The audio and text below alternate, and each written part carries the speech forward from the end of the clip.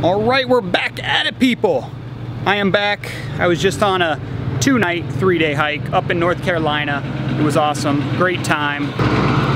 There goes one of my rehabbers right there. He just met me at this property to go over a scope of work and to get an estimate on this project.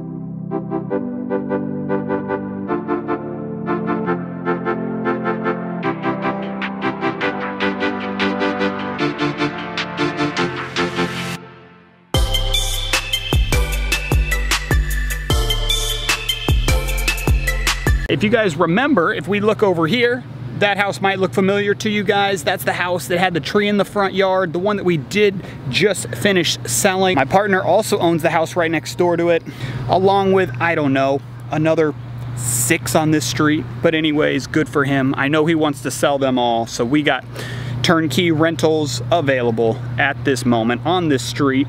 And we got McKechnie Field right across the street, which is awesome as well, which means you could actually rent out some parking spots in your front yard on game days, whenever that might start back again.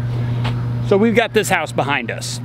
The tenant got his 30 day notice to move out. The house was just in horrible condition. Property management had been here a few times. He had said, hey, this needs to get fixed. This needs to get fixed. Well, guess what? We can't fix a house if your crap is everywhere, piled eight feet tall. So let's walk into this house. Let me show you guys how this house was left. It's been vacant since Friday. And I'm gonna turn around and show you guys why you do walkthroughs on properties and why on this property, unfortunately, he probably won't be getting his security deposit back. And let me show you why.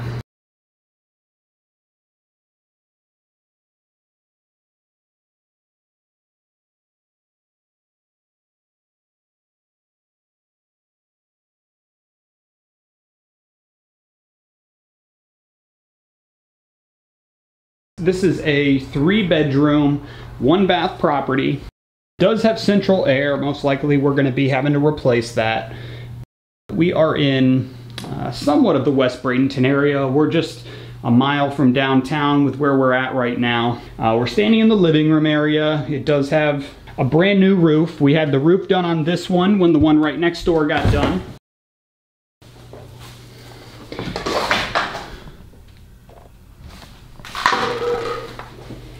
And I'm just showing you guys this so you can see what can happen when you own a rental property.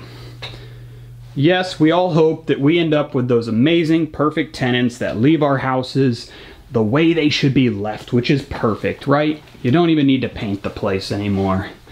Wrong. That's not what you get. You get a house full of junk. Whoa! Now that, quite the bong. I got some bugs hopping on me. There's obviously some fleas in here.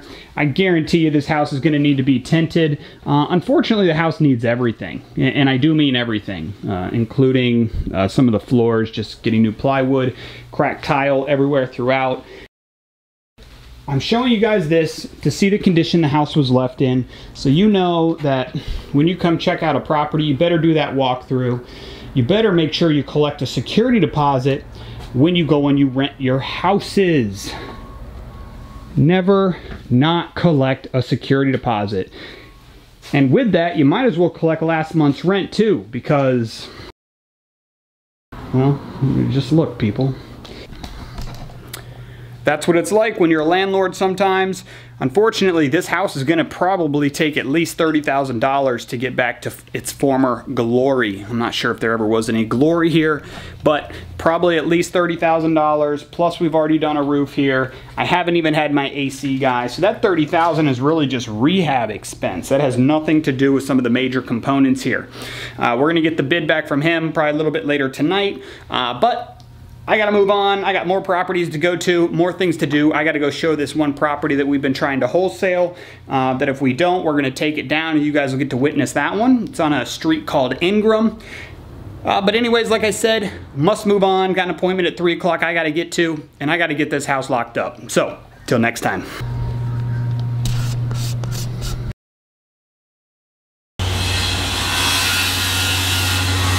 So we got some awesome news here. We finally got the go ahead on our permits at our Cornelius project. so I can finally start showing you guys some actual progress at this property and what's gonna be going on behind me. Uh, we actually have what's gonna be an entire master area. And when you come through here, and this had all been an add-on,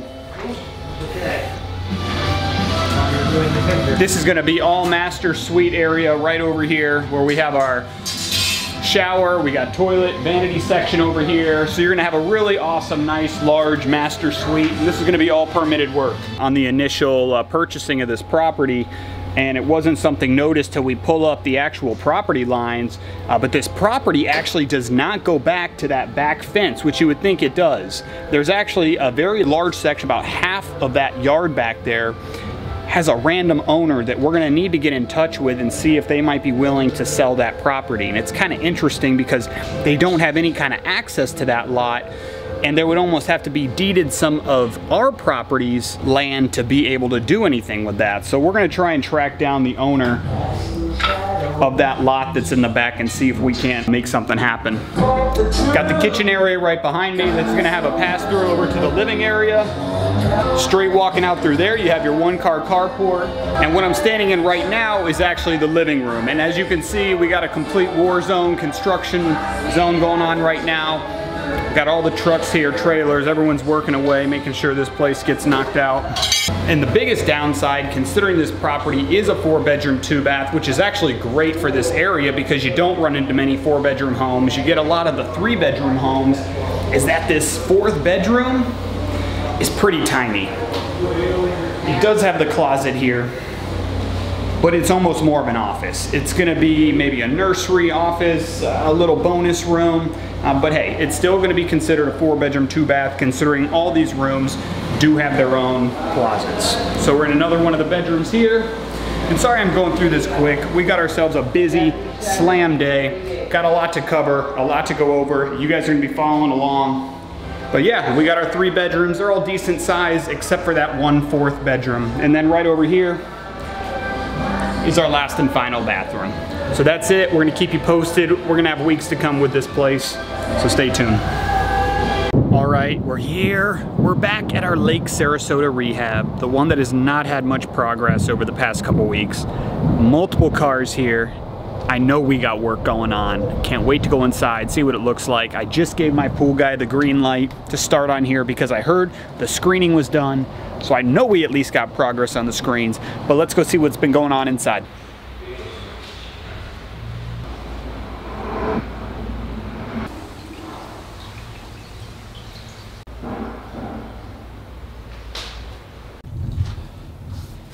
We got the paint going on, we got our pool getting ready to get started tomorrow, bathroom tiles are getting done. We got progress across the board here. Good to see.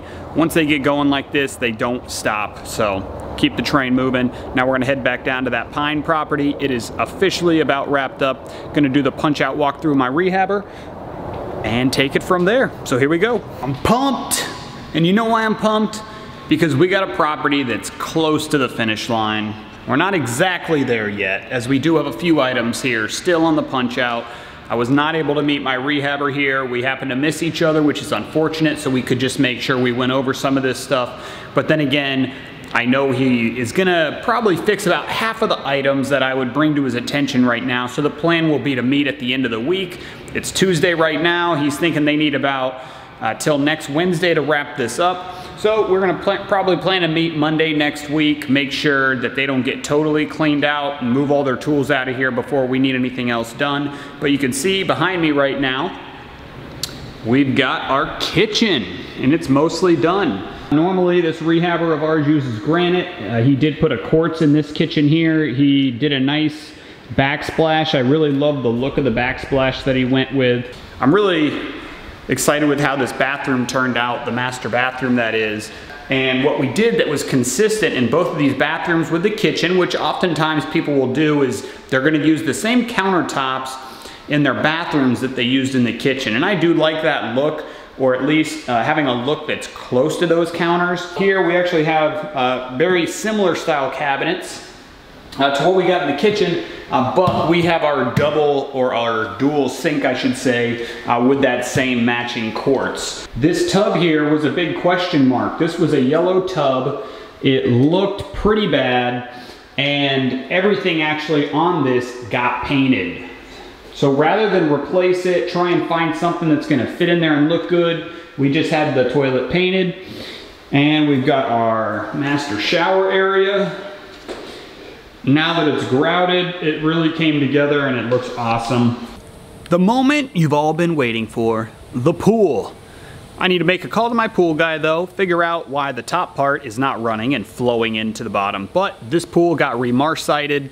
I believe there might have been a little bit of new pool equipment that we had to get put in here. But we did have to marcite this pool. Originally, he was thinking he did not have to do it. So a little bit of a shock when we heard we're gonna have to spend another, you know, couple thousand dollars on this pool. But either way, we knew it was something we had to do. We had to put this in. So I'm gonna turn this around, let you guys check it out. Onward, we've been to like five properties already today. A lot of projects, a lot going on, a lot of catch up, just getting back to town. But it's part of the job and the day in the life of a real estate investor. So catch you guys next time.